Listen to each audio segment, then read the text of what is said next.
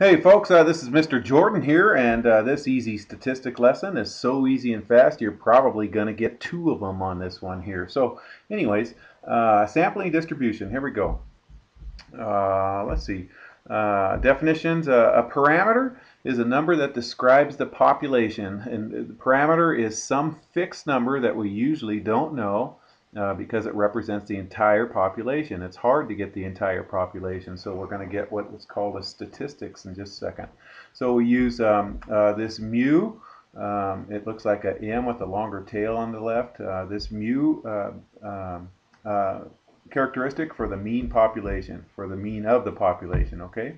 So a statistic is a number that describes a sample.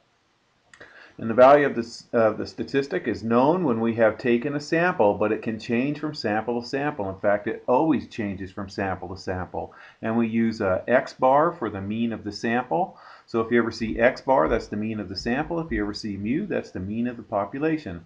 And we often use statistics to estimate our unknown parameter. And our parameter, remember, is our population, you guys. That's what it says right here, okay? So we use stats to estimate parameters. So sampling variability, represents uh, the value of statistics and it varies from sample to sample. One sample will, will give you a different yield than another sample. So for example, here's making money. Uh, this is example uh, 9.1 on page 488. Uh, the mean income of a sample of households uh, contacted by the current population survey was, um, uh, see this says X bar, so that's the sample mean, $57,045.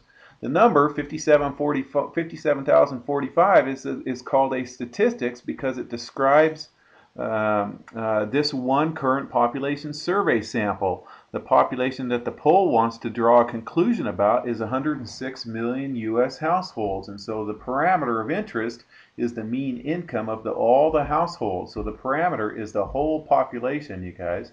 And we'll, we usually don't know the value of the parameter, almost always. So we do um, uh, um, a sample, which is a statistics. Remember, statistics comes from samples, and parameters come from populations. Okay, do you believe in ghosts? Woo! Uh, let's see. So this is example 9.2 on page 488.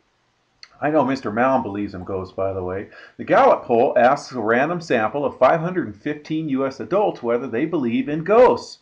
One of the respondents, uh, of, of the respondents, I'm sorry, 160 said, yes, I believe in ghosts. So the proportion of the sample who say they believe in ghosts is 160 over 515. Notice this is p hat, you guys. This little p hat means it's a sample proportion. If the p hat, if the hat wasn't there, it would be the population proportion. Anyways, this sample proportion is 31%, 0.31. The number 0.31 is a statistics, and we can use it to estimate proportion of all U.S. adults who believe in ghosts. And all U.S. adults who believe in ghosts would be our parameter of interest. Alrighty, so we're going to read the paragraph in the middle of the page. So here we go. Uh, we use uh, P. Remember, P doesn't have a hat right here, so we use P to represent the population proportion. The sample proportion, P hat, estimates the unknown parameter P. Based on the sample survey in 9.2, we might conclude uh, that the proportion of all U.S. adults who believe in ghosts is 31%, but that would be a mistake. After all, a second random sample of 515 adults would probably, most probably, yield a different value of p hat. So sampling variability strikes again. All right, so there's a second lesson I am sure that follows this, but if you're in my class, I would assign that as your homework.